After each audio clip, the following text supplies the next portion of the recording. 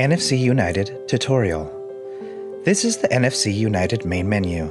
From here, you can play back previous saved media or create and save new memories to your NFC enabled product. To play back, select the Read button and scan your tag. Each phone places its NFC reader in a different location. On the iPhone, you will find it here. On the Android, it can be in a different place depending on the manufacturer and will need to be located the first time by patiently trying different spots. Note that some phones may be harder to find than others based on brand. Now, back to the home screen. You can record audio messages, add pictures, save written messages, or save website URLs to your product for instant playback later. For example, to record an audio message, touch the microphone, hit record, and then stop. When you are finished, name the recording and hit save.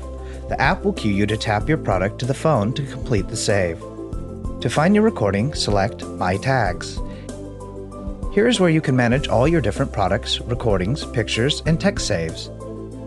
The yellow star indicates which items will play back when you tap your phone. Here you can select Edit to change the names, delete the save, or move your recordings into an order of your choice.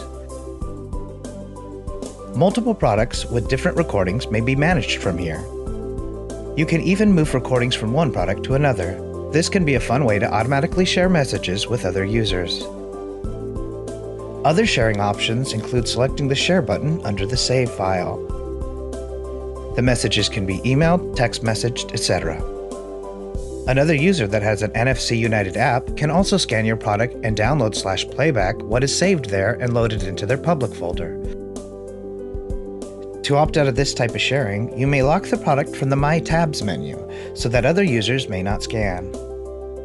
The other way to share is to open the saved file and use the Save to Tag option. You can then save direct to another person's product, which will also go into their public tabs menu. All recordings are synced with the cloud in case of loss. Should you be in an area where signal is down, the recording will store in pending till you are in range again. This completes the tutorial. Please enjoy your product.